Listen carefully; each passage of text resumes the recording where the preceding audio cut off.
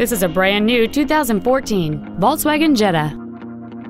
It features a 1.8 liter four cylinder engine and an automatic transmission. Its top features include heated seats, satellite radio, a turbocharger, and traction control and stability control systems.